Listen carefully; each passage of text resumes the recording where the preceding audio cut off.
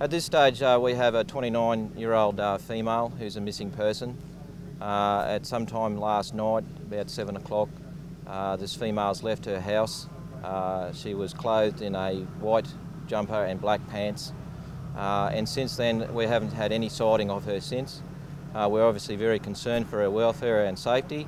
Um, and that's what we're conducting inquiries now to try and locate her, her whereabouts. Uh, at this stage, she does. Uh, she does have some mental health issues, and obviously that uh, heightens our concern for her well-being and her safety. Uh, so we're conducting all the inquiries we can into background uh, checks for her, uh, doctors, etc., friends, and trying to get as much information as we can at the moment to try and find her. I believe you found some clothes. Can you tell me about that? Yes, we did.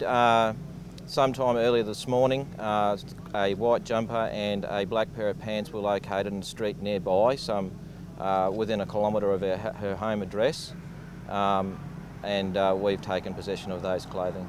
Any idea what she's wearing now?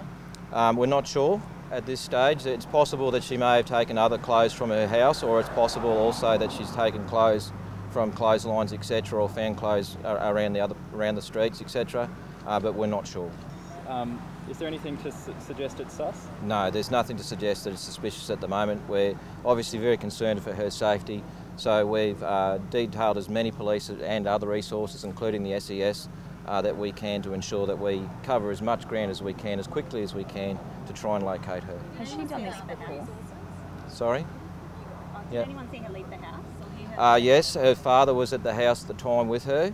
Um, so he did see her leave the address, and that's how we've got the confirmation of the clothing she had at the time. Was there some sort of altercation before? Uh, there's no indication of that at this stage. Um, obviously, this person has um, some mental health issues, um, so obviously it's very difficult at times to deal with people like that. Um, and that's again why we're so concerned about her because she has taken off from her house and away from her father. Has she done this before? Uh, not that we're aware of at this time. Um, and again, that's why we're so concerned for her safety and whereabouts. Um, sorry, just tell us uh, numbers wise, how many police officers and SES are out here? Uh, at this stage, we have about 12 SES uh, personnel. We also have around 25 police officers searching. Uh, we have a number of police officers on trail bikes. We have the mounted police unit being um, allocated uh, search areas within uh, behind me here. And we also have um, the helicopter, uh, rescue helicopter at this stage coming to do some searching for us. Okay, so that home, who, who does she live in that home with? She lives at home with her son um, and he's being taken care of the, as we speak. How old is her son? Her son's six years old. Was he at home when she left? Uh, I couldn't confirm that to tell you the truth. Uh, I don't know.